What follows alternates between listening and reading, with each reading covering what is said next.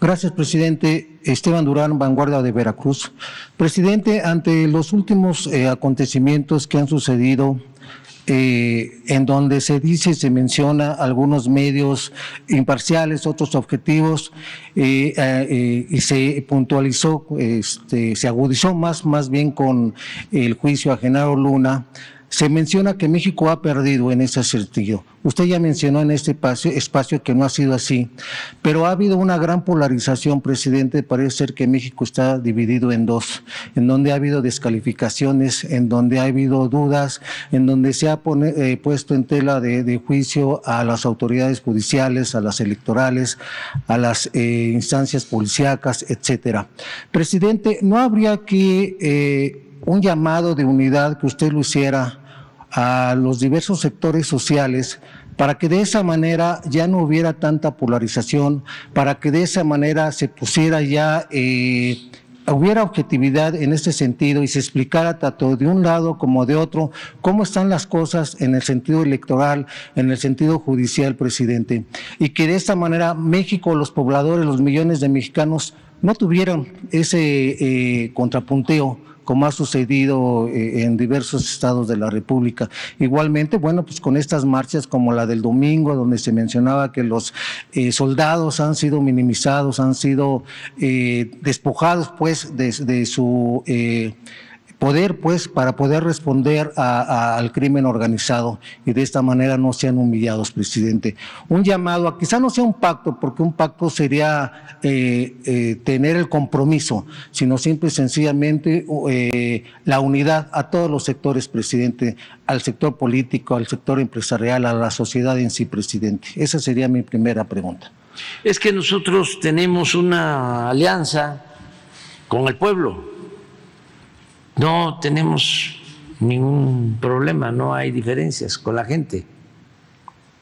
Hay eh, un sector, una élite que defiende al antiguo régimen de corrupción, de injusticias, de privilegios, que son los que no están conformes, pero esto también es normal. ¿Para qué este, querer que todos pensemos de la misma manera. Eso no es democracia. Tenemos que eh, aceptar de que pues hay quienes tienen una manera de pensar, una forma de ser, y esto no significa polarización,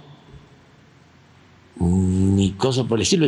Yo les diría que hasta eh, debemos celebrar que la gente se manifieste, que los del domingo que marcharon, que este, se les respeten sus derechos de manifestación, de libre expresión de las ideas, el derecho a disentir, defender sus causas. En una dictadura no se podría este, hablar. Bueno, imagínense que eh, en una dictadura se permitiera insultos a la autoridad, como se dan todos los días a mi persona. No pasa nada.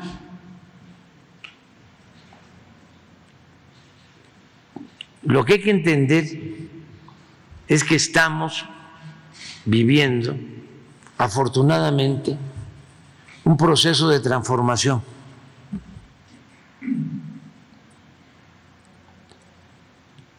Yo desde siempre hablé de que se habían llevado a cabo tres grandes transformaciones en la historia de nuestro país.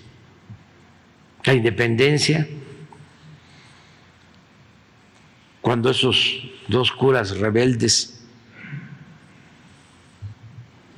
Hidalgo y Morelos, humanistas, lucharon no solo para que México fuese un país libre e independiente, sino sobre todo para que se aboliera la esclavitud y se viviera en una sociedad igualitaria. Por eso Hidalgo proclama la abolición de la esclavitud. Por eso no se lo perdonaron los conservadores de entonces. Y lo asesinaron y mantuvieron su cabeza diez años en la plaza principal de Guanajuato. Exhibieron su cabeza. Diez años. Como escarmiento. No solo porque llamó al pueblo de México a luchar por la independencia, sobre todo porque se atrevió a proclamar la abolición de la esclavitud. Y eso los oligarcas conservadores no se lo perdonaron. Y Morelos quería la igualdad en sus sentimientos de la nación, que se modere la indigencia y la opulencia, que se eleve el salario del peón, que se eduque al hijo del campesino igual que al hijo del más rico hacendado, que haya tribunales que protejan al débil de los abusos que comete el fuerte. Ese era Morelos. Y luego la transformación que significó el movimiento de reforma encabezado por Juárez, los liberales, que llevó a que los conservadores eh, se opusieran y ya cuando estaban derrotados fueran a buscar a Maximiliano para establecer un imperio. Eso hicieron los conservadores. Y nos invadieron los franceses, el ejército más poderoso de ese entonces en el mundo, y Juárez y los liberales resistieron y se restauró la república y se expulsó a los extranjeros y se logró la segunda independencia de México. Y luego la revolución, porque también los oligarcas se adueñaron del país, esclavizaron al pueblo. Porfirio Díaz se mantuvo 34 años en la presidencia, 30 él y 4 el compadre, Manuel González. Y por eso fue la revolución tres transformaciones. Y ahora, de manera pacífica, sin violencia, estamos llevando a cabo la cuarta transformación de la vida pública del país. Entonces es natural que haya resistencias, pero debemos hasta celebrar Repito que este cambio se da garantizando las libertades, sin violencia. Hay desde luego pues una campaña de los opositores en contra nuestra, pero como se está avanzando mucho en la concientización del pueblo, en lo que nosotros conocemos como revolución de las conciencias, ya no funcionan los mecanismos de control y de manipulación de los potentados. Ya los medios de información no tienen credibilidad. Porque, pues evidentemente, se dedicaron durante mucho tiempo a legitimar abusos, a legitimar la corrupción, a legitimar las injusticias, a callar entre el racismo, el clasismo, la discriminación. Y la gente pues ya sabe quién es López Dóriga, ya sabe quién es Ciro, Gómez Leiva, ya sabe quién es Lórez de Mola. Presidente. Eh, ¿Qué le van a creer a Lórez de Mola si este ha utilizado el noble oficio del periodismo para enriquecerse? Eh, Ni siquiera este, ha aclarado su relación precisamente con García Luna, y sus departamentos de lujo, que no los tienen ustedes, no los tienen la mayoría de los mexicanos. ¿Qué es tan lucrativo el periodismo? Es una empresa de las más lucrativas que hay. No, los periodistas la mayoría gente que vive honradamente, son unos cuantos los que por ponerse al servicio de los corruptos, pues ellos reciben recompensas extravagantes. Tienen yates, tienen departamentos en el extranjero, ganan muchísimo. Este señor Loret debe de ganar pues un millón, un millón y medio de pesos al mes, diez veces más de lo que gana el presidente de México. El otro, Jorge Ramos, ese debe de ganar como 50 veces más que yo.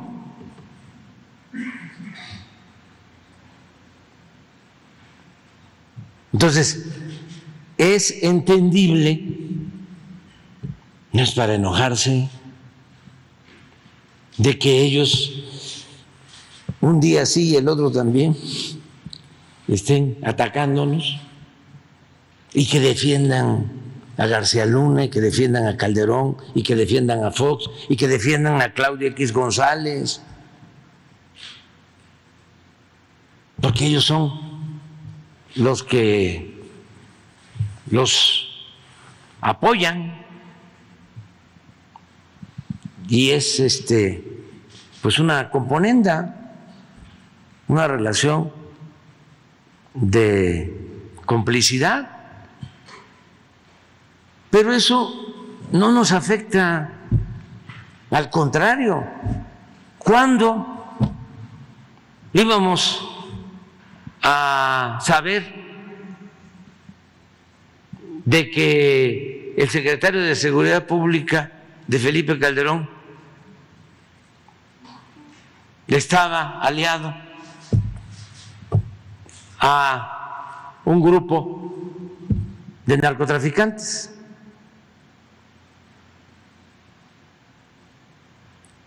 ¿Cuándo eh, íbamos a estar viendo de qué es juzgado este señor García Luna y sale Felipe Calderón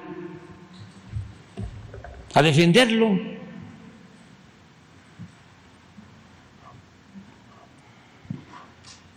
¿No tienes por ahí la declaración de Calderón sobre esto? O sea, que es importantísimo. Este, porque lo juzga un tribunal de Estados Unidos. Y dice Calderón, no les creo, no hay pruebas.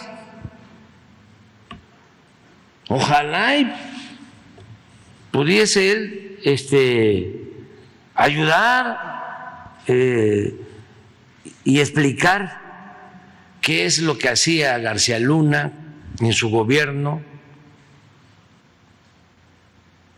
por qué considera de que no hay pruebas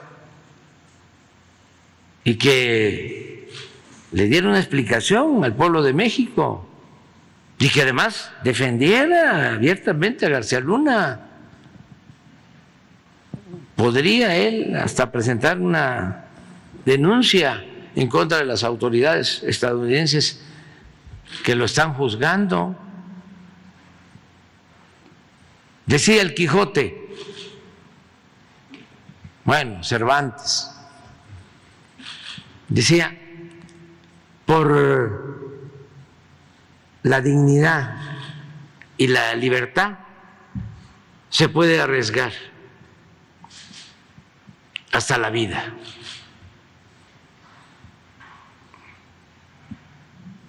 Entonces, cuando uno tiene eh, la seguridad de que se es inocente, no se debe de permitir que nadie ponga en entredicho nuestra honestidad.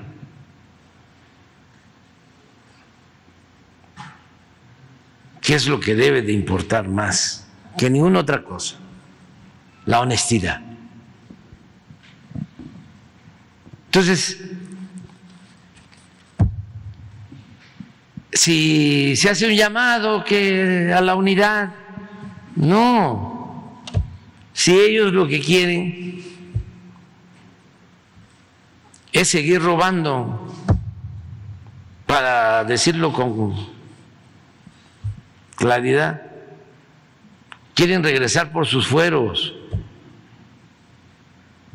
Más que nada, evitar las fricciones, presidente, los dimes y diretes, porque... No, pero no son dimes y diretes, eh, es una muy buena polémica, un buen debate. Es que antes no se trataban estos temas, todo se ocultaba. Había una política de simulación. Y la vida pública en una democracia tiene que ser cada vez más pública. Y este, permitir el diálogo abierto, franco, el debate. No le hace que haya este, insultos y excesos, pero que podamos gozar de libertades plenas, más cuando se trata de la felicidad del pueblo y de el progreso de la nación. Porque eso es lo que está de por medio. ¿Por qué es importante lo de García Luna? Para que no se repita, para que se purifique la vida pública, que no se siga aplaudiendo a corruptos, que no haya impunidad. Esto es un legado para las nuevas generaciones. Eso es una transformación. Antes, bueno, lo hemos dicho aquí muchas veces. Se pensaba que el corrupto era audaz, muy eh, exitoso. Había que seguir su ejemplo de cómo había logrado, decían, este, colarse y cómo había ascendido, cómo se había encaramado en los cargos públicos, cómo se había hecho de la noche a la mañana inmensamente rico. Y todo esto, desde luego, a cosillas del erario, con el sufrimiento de la gente. ¿Qué le llegaba al pueblo de ayuda? Nada. Solo cuando había elecciones que repartían migajas, dádivas, despensas, materiales de construcción, pollos, patos, chivos, borregos, puercos, cochinos, marranos.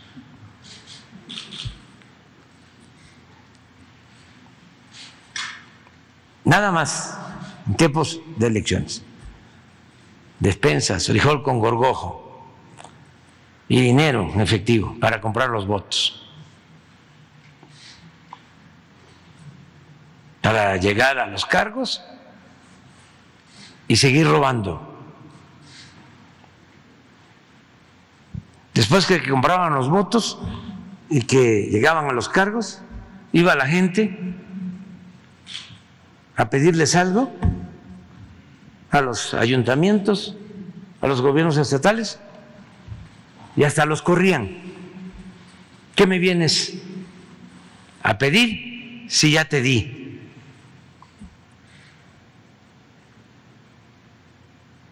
Humillante. Y todo era dinero. Había una elección y a entregar dinero.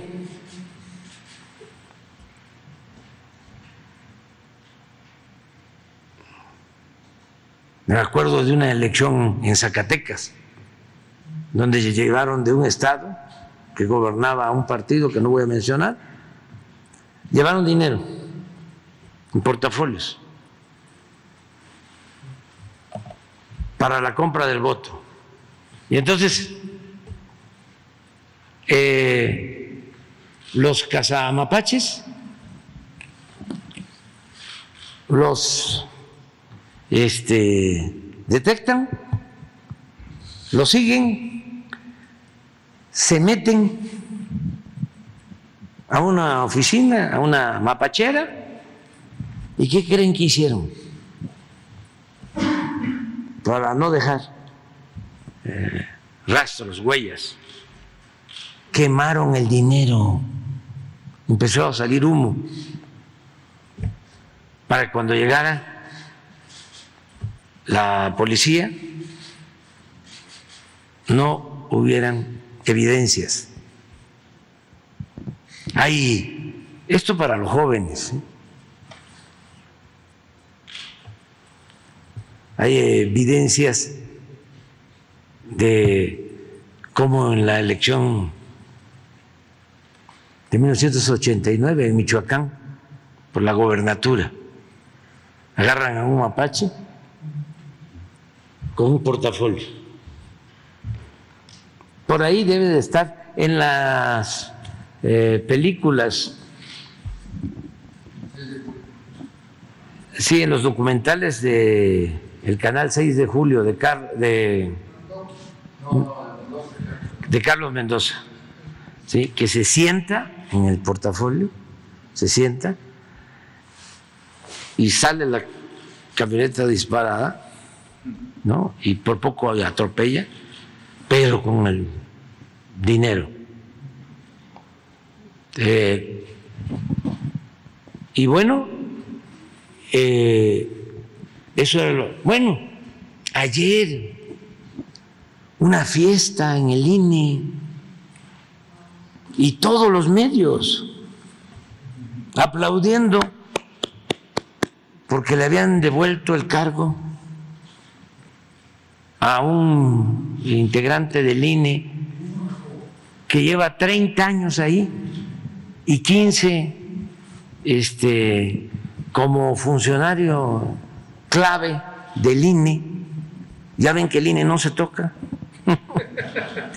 este, entonces, le dan un amparo los del Poder Judicial, que son lo mismo. Pero además, este, todos sus achichincles y amigos y socios aplaudiéndole. Y los medios de información, todos celebrando, porque se había reivindicado a la democracia. Una gente que ha tolerado fraudes, que está por eso ahí completamente antidemocrático, pero pertenece a la camarilla que ha manejado el INE durante mucho tiempo. Y aplaudiéndoles, pero dándolo como un triunfo, o sea, eh, la primera derrota del plan B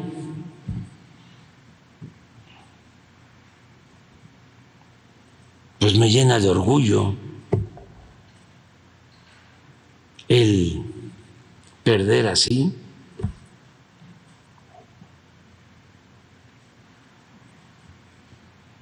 No se dan cuenta, porque eh, no tienen autoridad moral.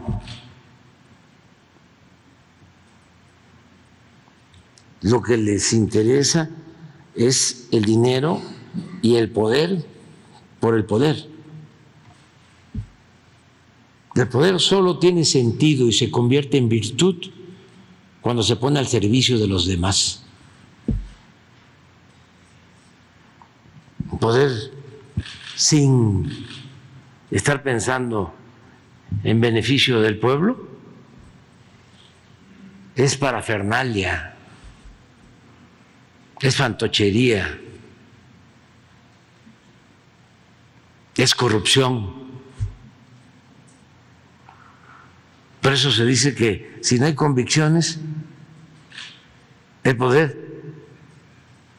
atonta a los inteligentes y a los tontos los vuelve locos.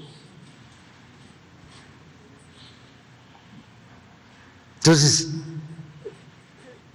están en show todavía. Los que pensaron que iba a ser más de lo mismo, que íbamos nosotros a simular que íbamos a caer en el gatopardismo, eso que consiste en que las cosas en apariencia cambian para seguir igual. Pensaron que era como lo del 2000, ¿no? El cambio, ya llegó el cambio. Decía Fox. Decía, con salinitas ni al baño. Y terminó abrazado con salinitas. Y manteniendo la misma política. Esa donde todos los intereses cuentan, menos el interés del pueblo. Por eso está muy bien el debate, porque yo sostengo que estos farsantes no son demócratas, son empleados de oligarcas Ellos no defienden la democracia, defienden la oligarquía, el gobierno de la minoría, el gobierno de los ricos. Y la democracia es el gobierno del pueblo, es el gobierno de todos. Eso es lo que está en el fondo. Y todo lo demás es una gran simulación pero qué bueno que se están ventilando todas estas cosas. ¿No tienes la lo que dijo Calderón? Que es interesantísimo